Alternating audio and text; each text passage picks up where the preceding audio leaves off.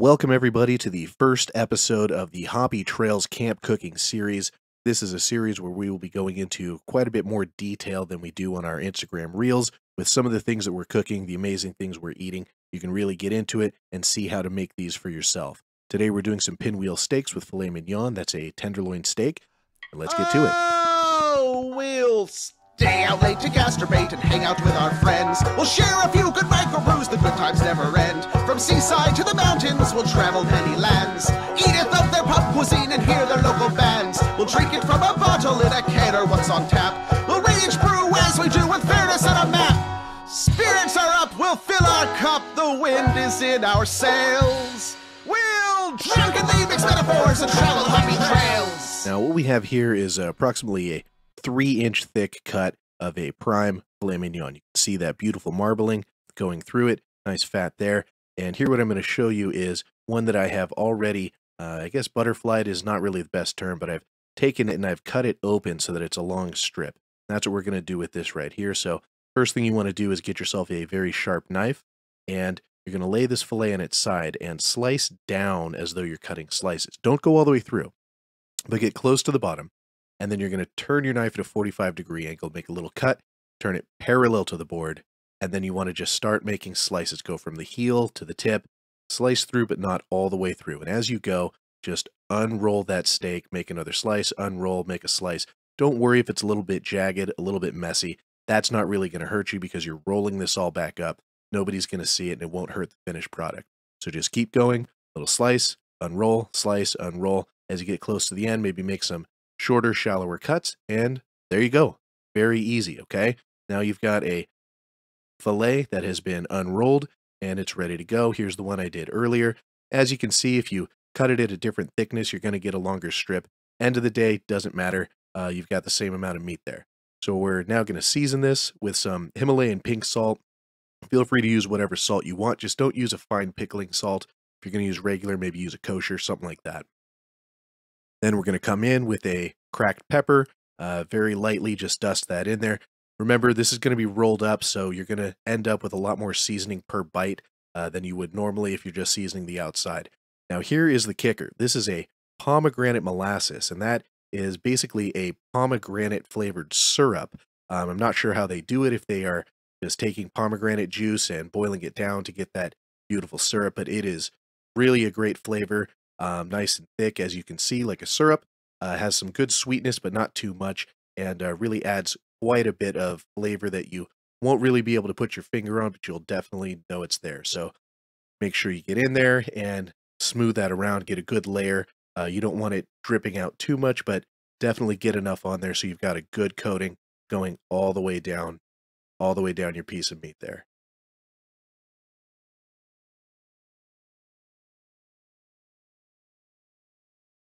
To smooth it out, make sure you get the whole surface of the meat. Uh, make sure that you get every little crevice there. You want to get that flavor really in there for every single bite to have that beautiful flavor on it.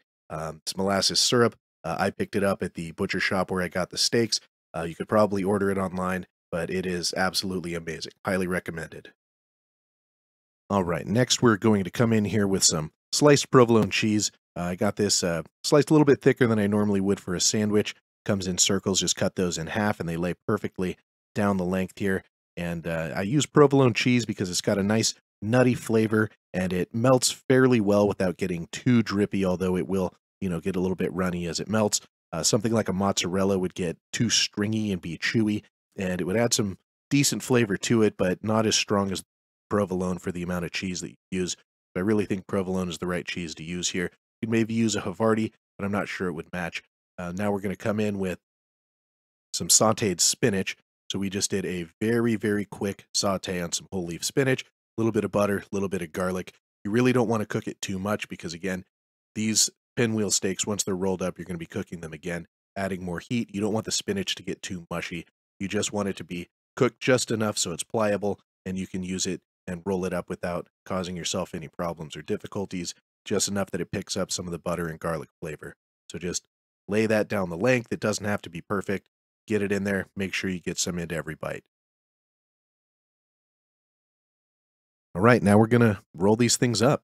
And really, you just start rolling Uh, the provolone cheese has a tendency to want to slide away from the roll, so just make sure you hold it down with your fingers. Go in there and roll, hold, roll, hold, roll. It's really not that complicated. Uh, after you do it one time, you'll you'll have it down. You'll be a pro. Uh, just roll it up, and once you get done, there you go. Just stand it up there, set it on the board, get in and attack the other one. There we do the same process. Just roll, hold the cheese with your fingers as you're rolling. Keep rolling, and uh, before long, you have these two beautifully rolled pinwheel steaks. And let's take a look. There you go. Beautiful. You can see all the different layers. And again, it doesn't have to be perfect. You're really just trying to get all the flavor into each bite. Uh, then you come around, hit it with a little bit of butcher's twine. Don't use something with jute or something with a lot of strings and uh, fibers hanging off. Give it a double wrap before you pull it. That helps it stay a little bit tighter. Get it nice and tight there.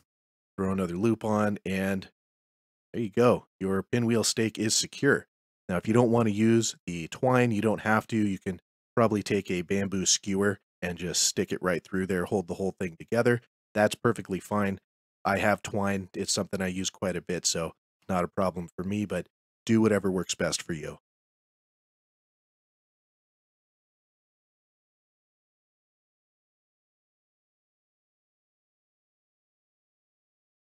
All right, once that's all nice and tight, I just trim off the ends of the string. You don't have to if you don't want to, but you know, this just keeps the keeps them from hanging down into the pan, making a mess. Not really a big deal. I just clean them up a little bit real quick.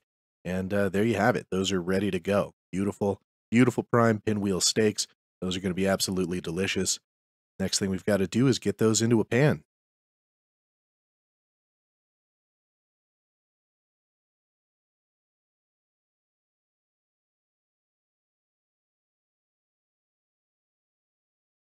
All right, we're going to start this pan off on a little bit of a higher heat so that we can get some good searing on the outside. Wait till it's hot, throw that butter in, get it nice and melted, coat the entire pan. Use more butter than you would think. It's not just to get a coating, uh, but you are going to be spooning some of that over the top of the steak as it cooks. So put more butter in than you'd think, and then get those steaks in there. All right, now before we throw these steaks in there, I'm just going to hit them with a little bit more of that Himalayan pink salt, and then I'm going to put them in the pan, salt side down. Okay, going to put that salt side down there because we're going to hit the top side with a little bit more salt uh, so that it can be seasoning while the downside cooks. And um, once you start getting that crust, it's a lot harder for the salt to stick and get that seasoning. So that's why we season one side, put it salt side down, and then hit the top side with a little bit more seasoning. And we're just going to let these go until you get a uh, nice little crust on one side. Uh, depending on the temperature that you have in the pan, we're looking at, I don't know, maybe two, maybe three minutes on that first side. Um, you know, if you have your steak at room temperature, it's going to go a little bit quicker, but two to three minutes should be fine on that first side before you flip them over and start putting a brown on the other side. All right, and we are just about to flip these bad boys over here. Uh, so we're just going to grab them with the tongs here. Very easy. They shouldn't stick. Give them a little flip. That one's not quite as brown, not getting as much crust as I would like. This one, definitely a little bit more of that beautiful crust on it there. Uh, make sure that you have your meat centered over the flame. This is a big pan, so that steak wasn't exactly centered. Uh, but then once you get that flip, there you go. Get those bad boys right over that flame. Give it a tip and start spooning some of that delicious butter over the top here. Now that butter is going to have some flavor from the garlic that was on the spinach, obviously a nice buttery flavor and some of that beautiful rendered fat that is coming out of the uh, amazing prime uh, steak that you have going there. So definitely give it a little spoon over every now and again, maybe 30 seconds, something like that. Then give them another two to three minutes before you flip them over again and let them keep cooking through. Now, we're just going to come in here with that spoon, uh, give the pan a tilt, get some of that delicious butter, and just keep spooning that over the top. Uh, that's going to help you with some of that moisture so you're not getting too much moisture loss off the top. Uh, add quite a bit more of that delicious flavor to it. Now, when you go to a steakhouse, something that you probably don't realize that separates the steaks that they cook from the steaks that you cook is that at those high end steakhouses, they are spooning butter over the top, finishing it with butter on top. It adds so much of that delicious flavor and it really just makes a difference on your end game. So, we're going to come in here and just give these bad boys a little flip good crusting going on there. You can see some of that provolone is starting to melt in there. And uh, we're just going to give those another maybe two to three minutes. On a thick piece like this, you want to be very careful not to go too high of a heat or you're going to burn the outside, not cook it all the way through. So we reduce the heat down. We add a little bit of a neutral cooking oil so that we can uh, prevent a little bit of that smoking. There is a little bit going on from the butter, the solids, uh, but you do want that neutral oil. That'll help bring up the smoke point a little bit. And then you just flip these bad boys on their side, give them a rotation every, you know, 30 to 45 seconds. Make sure that you're cooking all the way around. And uh, we're basically going to be there. So make sure you got your sides started because we're going to be moving on to the next steps here pretty darn quick. All right, and here we go with that first rotation. Just give it a 90 degree turn there. Uh, and look at that. Some beautiful, beautiful crust forming on the outside there. Uh, that is going to be just so much, so much delicious flavor. Beautiful uh, Maillard reaction happening there. And just every, you know, 30 seconds or so, give it that quarter turn, that quarter rotation, and pretty soon you'll have that nice, beautiful brown crust going all the way around. All right, and here we go with a, uh, another rotation. As you can see, that beautiful, beautiful brown crust is just really forming all the way around. Uh, don't worry about uh, perfectly even. Uh, you are going to end up with just a beautiful, delicious steak cooked perfectly uh, with that amazing flavor and crust going all the way through. So another 30 seconds or so and give it another rotation. That's going to be about the end of the game in the pan here. All right, and these steaks are done, so we're just going to flip them back onto their end, get that last bit, little bit of crust just refreshed there. Just get them right there into the oil, into the fat, turn off that heat. Then we're going to pull these over and get them on a plate. Now, when I cook a steak, I do like to have a little bit of sauteed onion, and with this steak, you don't want anything that's going to be too overpowering. So we're just using a shallot here. Shallots are a little bit milder, a little bit sweeter, but not really as sweet as a sweet onion. But they are very nice, add some onion flavor and aroma without being too overpowering. So just going to peel that. We're going to slice it pretty thin here because as you can see, we are slicing it against the grain of the onion. That means once it hits that pan, uh, those cell walls are going to be a little bit more broken. It's going to break down a little bit more quickly. So we're going to cut it very thin, saute it very fast, uh, and just get right to it without overcooking. Uh, with a shallot, as uh, you've probably seen, they end up being, you know, oftentimes two uh, bulbs in there. So as you get down, just peel that off. A little bit easier to slice when you're slicing thin on these small pieces. So that's really it. Just slice it up nice and thin. And it's going to end up just cooking really fast, uh, not too much heat in the pan, and uh, like I said, you'll retain a lot of that good texture, a lot of that flavor, a lot of that wonderful aroma, and it's really going to add a nice complement to these pinwheel steaks without being overpowering. All right, now we're going to prepare a little bit of garlic to go in and saute with the onions. As you see, I just turned the knife on the side, press down on it, gives it a little bit of a smash, go through there and give it a rough chop. Uh, hit that with both of the cloves that we're going to throw in there. Nice rough chop. It doesn't have to be precise uh, because once we go through it real quick. We are going to turn the knife on its side once again, and we are going to use the blade to press and smear the garlic, break it open a little bit more, and uh, just roughly, well, mangle and manhandle it just to open it up and really get those flavors released, break those cell walls down, and make it nice and easy to uh, saute pan. Again, the onions are going to go very fast, so we don't want big chunks of raw garlic that end up in there. Break it down, smash it up, get that in, get that garlic flavor, and that's going to be really nice on top of those pinwheel steaks. And once again, we are going to go to a nice hot pan with a lot of butter in it, and we are going to throw in those sliced shallots and that mangled garlic, get those in there. And, uh, you know, listen, there's a lot of butter in this recipe, there's a lot of fat. This is not diet food. This is delicious food. Don't eat this three meals a day. But if you're going to do it, do it right, right? Don't skimp and wish you'd added more butter later. Just get in there, stir it around. You're going to be glad you did. So as you can see, we're keeping everything moving here. We don't want the garlic. We don't want the onions to burn. We just want them to start to sweat a little bit, break down those cell walls just a touch, release that flavor while maintaining some of that texture. And you just want to keep it moving. That way you're not going to have anything burn. And uh, very quickly, these are going to be done. And here we are starting to get some of that beautiful color. You can see that the they're not brown, so to speak. They're getting a little bit more golden in color. Uh, if you could be here, you could really smell that aroma, that garlic, the onion coming off. Um, these are getting very close to done, so we're just going to give them a little toss like that. Nice, easy. Toss them around, make sure we get good, even cooking throughout. And then we're just going to come in and hit these with a little bit more of that Himalayan pink salt, just to add a little bit of seasoning. Um, and then these are going to be ready. We're going to pull them off, put them aside, and have them ready to go when we start to plate this meal. And uh, we'll move on to the next task. All right, and now we are coming up to an essential but often overlooked part of cooking any meal, and that is the mid-cook cocktail. We are coming in with an Irish whiskey here. I'm using Jameson, but you can really use whatever you want, uh, about 250 mils.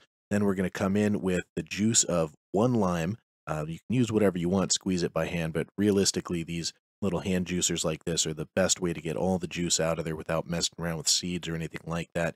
So really get in there, juice that lime, get it in. That's where you're going to get some of the acid. And after this, we're going to come in with the third and final ingredient on this very simple little cocktail. And that is going to be a lime syrup that we made. Uh, we chopped up a bunch of limes and we just covered them in brown sugar. And then you put them aside, let them sit, come back, muddle them up a little bit to release some of that juice, get them back into the fridge covered. And there you go. You've got a beautiful syrup that is sweet. It's got a little bit of kind of caramel flavors to it. Uh, definitely plenty of lime, some sweetness. Two tablespoons will do it for you. Just stir that in there. And, um, you know, that's it. Come in with your shot glasses. Give it a little pour. You can see two shot glasses there because uh, I don't cook alone. I've got my sous chef. Her hands are not on the meal, but uh, it's very important. She's there for moral support. And uh, who wants a drink alone, really? So there it is. Cheers. Bottoms up. And now we can get back to cooking.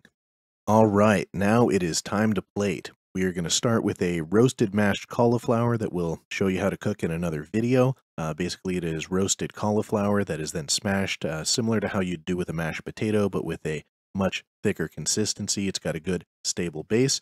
Uh, I say my assistant chef doesn't put her hands on the food, but realistically, she made these. She's a better cook than I am, but uh, we won't get into that on this video.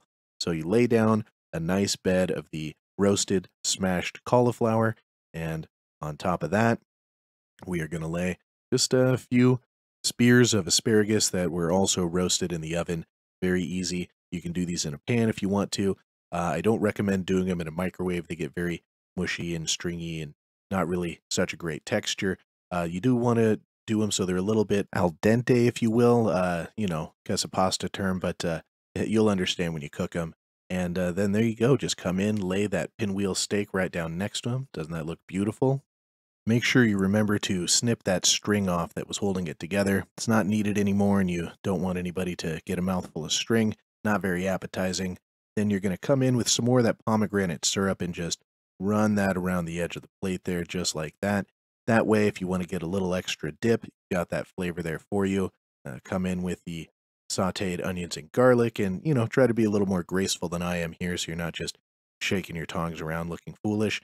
Uh, get that on there. And then there's nothing left to do but to cut into this bad boy and see what we've got.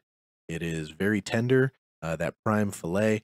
Um, the only reason I'm having resistance because pushing down into those roasted cauliflower there, but, you know, get a little bit of that onion and garlic on there and again, try to, you know, be a little more graceful than I am and uh, give it a bite and see what you've got there. It's a wonderful combination of flavors, and really you can't go wrong. Very easy. It'll impress any of your guests, and uh, it's delicious. Make one just for yourself. You've probably earned it. And there you have it, the first episode of Hoppy Trails Trail Cooking. Uh, filet mignon pinwheel steaks, pretty easy to do. Uh, give us a comment. Let us know what you thought about the video. Let us know what you thought about the recipe, what you'd like to see next, and hopefully there will be a lot more to come. And remember, Always say yes to the hoppy ending. Cheers. The preceding podcast was produced by Sequoia Productions LLC, copyright 2022, all rights reserved. If you enjoyed this show and you're looking for more, or even if you're looking for something a little different, check out the other amazing shows by Sequoia Productions, wherever you get your podcasts, or on sequoia.com. Hoppy trails to brew until we drink again. Happy trails to brew. Keep sharing with your friends. Who cares about which IPA tastes better? ABV are just a couple letters. Hoppy trails to bruise until we drink again.